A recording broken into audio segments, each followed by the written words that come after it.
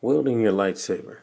Disclaimer I'm a grown man, but I like to have fun, so please don't make fun of me too much and remember, it's for educational purposes.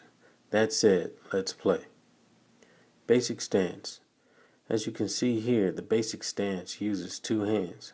It's almost like holding a baseball bat, close to the body and above your shoulder. This is the stance that Finn holds when fighting Kylo Ren in The New Force Awakens. Basic strikes.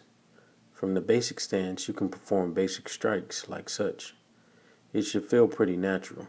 Swing your saber down from right to left and from left to right. You can also strike at your opponent's lower body as well.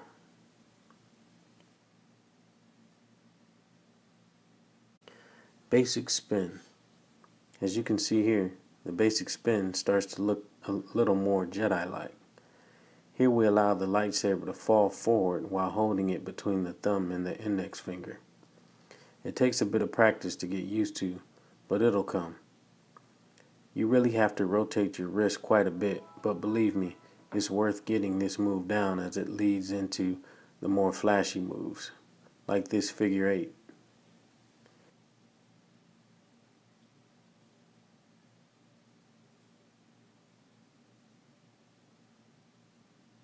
Here's a reverse figure eight.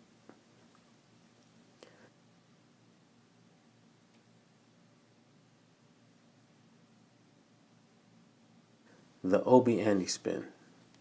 Now for the move of all moves, the Obi-Ani spin. This move is named after Obi-Wan Kenobi and Anakin Skywalker. It is featured prominently in Episode 3, Revenge of the Sith. It starts with a basic spin to the side like so. Then it moves to a spin behind the back. Now here's the tricky part. You twist your hips and pull the lightsaber back around to the front of your body. Let's see that again. Slower this time. Now let's speed it up.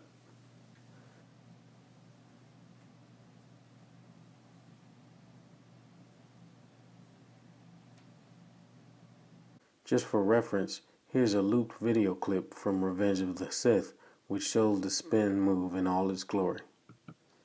Let's slow it down a bit.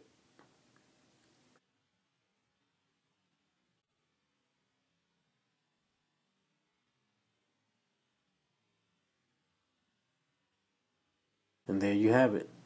Be sure to review this video as many times as you need and be sure to check out the supplemental resources page of this section for many more well done tutorials on welding your lightsaber. See you in the next video.